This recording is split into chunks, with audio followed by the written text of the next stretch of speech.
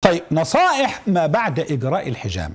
أنت خلصت الحجامه في نصائح ما بعد بعد ما انتهيت منها؟ آه واحد تجنب تناول المشروبات اللي هي المحتوية على المنبهات مثل الكافيين وغيره. اللي ابعد عنها ابعد عنها عشان تبقى النتيجة والأثر بإذن الله كما ينبغي. اثنين تكثر من شرب المية. ثلاثة استخدام المراهم الطبية لمناطق الحجامة عشان زي ما قلنا ما تتركش يعني ندبات ولا أثر كيت ولا تغير لون في في الجلد ولا يكون في مناطق صديدية كده إلى آخره تفضل تكون يعني بثرات أو ما شابه. طيب بعد كده تجنب الاستحمام لمدة 24 ساعة بعد الحجامة بعد الحجامة وكمان التدخين وقف إيقاف التدخين. خلي بالك معايا جدا. باقي نقطة بقى بعد ما بينت لكم المادة العلمية ومراجعتها مع كبار الأطباء. أجي بقى ليه اللي الإخوة اللي ماشيين في الباب ده مش بقول الإخوة الملتزمين لا لا اللي ماشيين في الارتزاق ده وماشيين بقى بالورق وطباعة الورق والكيت يقول لك الأحاديث الواردة في توقيت الحجامة يعني في الأيام المفضلة العمل اللي عملها والأيام المنهي عنها وإيه كمان ناسبينها لسيدنا النبي محمد. المنسوبة لسيدنا النبي محمد. وأنا بقول ما تنسى مش صح. ولا النبي ولا النبي قالها خلي بالكم معايا جدا. وخلي بالكم الأحاديث المنسوبة إلى سيدنا النبي صلى الله عليه وسلم منسوبة إليه إيه؟ ده قولا وفعلا في الحجامة يعني. آه من حيث التوقيت بالنسبة للحجامة بتنقسم إلى قسمين. القسم الأولاني أحاديث تنص على الأيام المفضلة لعمل الحجامه الثاني أحاديث تنص على الأيام المنهي عن عمل الحجامة فيها. يبقى هنا الأيام المفضلة لعمل الحجامة جايب لك الأيام أحاديث كتير قوي أحاديث المفضلة بيقول لك يفضل تعمل يوم كذا ويوم كذا إلى آخر هذه الأمور والأيام المنهي عنها. خلي بالكم معايا جدا. الأحاديث اللي بتنص على الأيام المفضلة لعمل الحجامة في الورده في الأحاديث اللي بقول لكم عليها دي أيام 17 خاصة إذا صادف يوم الثلاثاء و19 21 من الشهر القمري وأيام الاثنين والخميس من أيام الأسبوع. دي بالنسبة للايام المفضلة لعمل الحجامة. خلي بالكم.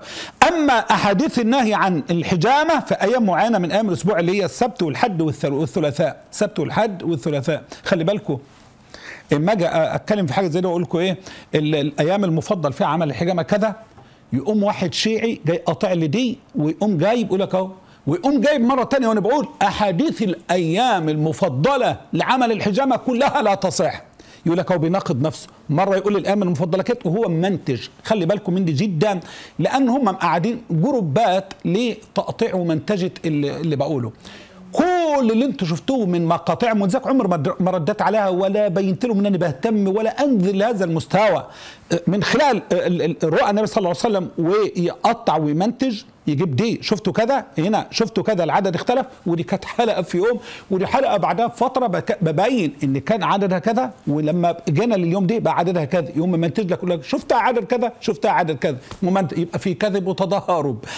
يجيب لك أي حاجة في المادة العلمية ويعمل كده. إلى آخر فانتبهوا جدا من روافض دول لأني ما شفت اسوا أسوأ مخلوقات من هذه المخلوقات.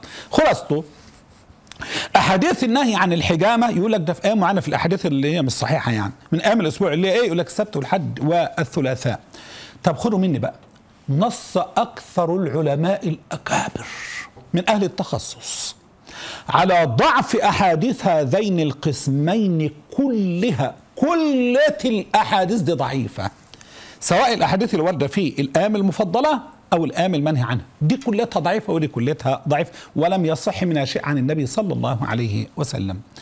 حتى الحديث المشهور اللي صححه شيخنا العلامة عليه رحمة الله الإمام الشيخ الألباني اللي هو بدايته طبعا ومعروف الحجامة على الريق أمثل اللي هو أحتجم على بركة الله يوم الخميس واجتنبوا الحجامة يوم الأربعاء والجمعة والسبت والأحد واحتجموا يوم الاثنين والثلاثاء وفيه فإنه لا يبدو جذام ولا برص إلا في يوم الأربعاء وليلة الأربعاء.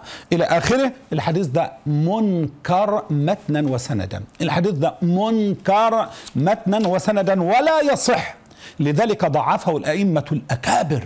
منهم اللي ضعفوه الإمام العلامة الكبير أبو حاتم الرازي والإمام الكبير العلامة ابن حبان والإمام الكبير ابن عدي والإمام الكبير ابن الجوزي والإمام الكبير شيخ الإسلام الإمام الذهبي والإمام الكبير العلامة ابن حجر والإمام العظيم الامام الشوكاني وغيرهم لو عددت ما انتهيت. خلاصته أنا كده خلصت الحلقة بإذن الله جل وعلا وأرجو إن كلامي يفهم بطريق صحيح يا جماعة.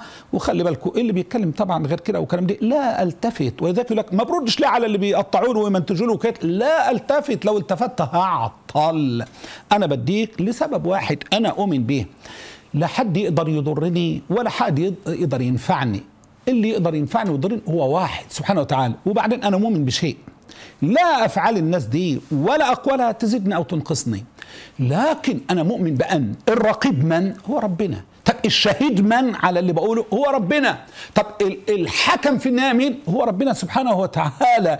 لذلك الباقي تراب يا ليت الذي بيني وبينك عامر وبيني وبين العالمين خراب. إذا هان الود بيني وبينك فكل الذي فوق التراب تراب. والسلام عليكم ورحمة الله وبركاته.